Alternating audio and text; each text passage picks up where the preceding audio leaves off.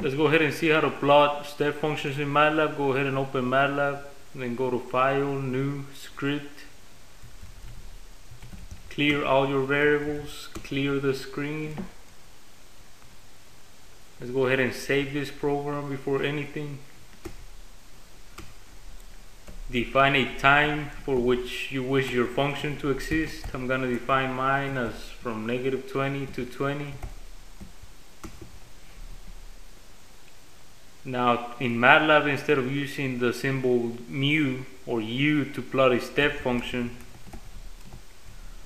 we use the word heaviside or heave side. So my y is going to be heaviside of t and I'm gonna plot it so plot open parentheses t y I'm gonna define my axis for the plot.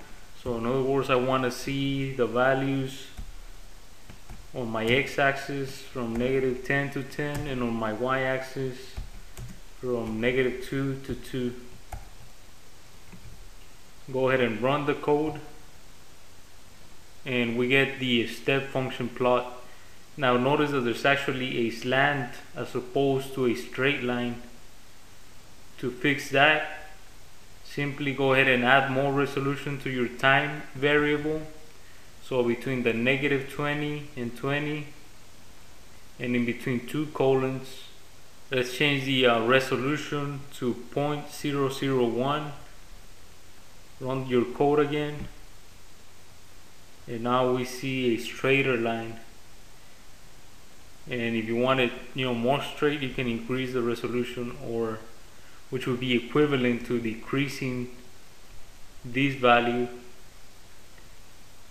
And now you can do whatever you can with the uh, any other step function so we can shift it. In this case to the right by 5 by subtracting 5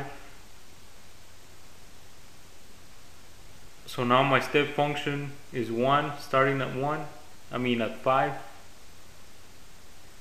let's shift it to the left by adding 5 so now my step function is 1 starting at negative 5 and that is how you plot step functions. Thank you for watching